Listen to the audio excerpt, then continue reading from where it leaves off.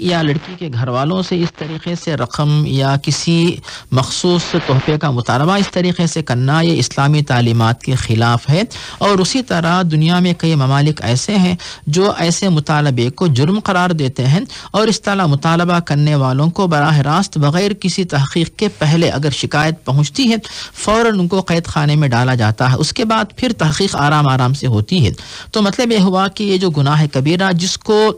غیر مسلم بھی جو ہے جرم سمجھتے ہیں اور اسے آج کے مسلمان جو ہے کسی ایک بیچاری کمزور لڑکی کے اوپر جو ہے اپنا زور اور روب بتانے کے لیے اس طرح کا برتاؤ، اس طرح کی حرکت کرے، یہ مناسب نہیں ہے۔ سوچے کہ اگر اس بہو کے مقام پر خود کی بیٹی ہوتی تو وہ کیا کرتے؟ کیا اس کے ساتھ بھی ایسا ہی برتاؤ کرتے؟ ہرگز نہیں۔ تو بہو باہر کے گھر سے آئی ہے، اس کے ماں باپ کو بھی دکھ ہوگا، خود اس کے دل کو دکھ ہوگا اور ایسی حرکت کرنے سے اللہ تعالیٰ بھی ناراض ہوگا کہ جو ذمہ داری اللہ تعالیٰ نے لڑکی پہ نہیں ڈالی ہے کہ گھر سے جہیز لے کر آیت، ویسی ذمہ داری اس کے اوپر آیت کرنے والے تم کون ہوتے ہو؟ یہ ظلم ہے اور تمہارا شمار جو ہے وہ ظالم لوگوں میں ہوگا۔ تو اللہ تعالیٰ آپ کو، یا جو بھی ظلم کر رہے ہیں، ان کو اگر ظالموں میں شمار کرتے اور ان کے ساتھ ظالموں کا جو بر، جو ظالموں کے ساتھ جو برتاؤ اللہ تعالیٰ کرنے والا ہے، وہی برتاؤ اگر ان کے ساتھ اللہ تعالیٰ کرنے لگے تو پھر کیا وہ برداشت کر سکیں گے؟ نہیں کر سکیں گے۔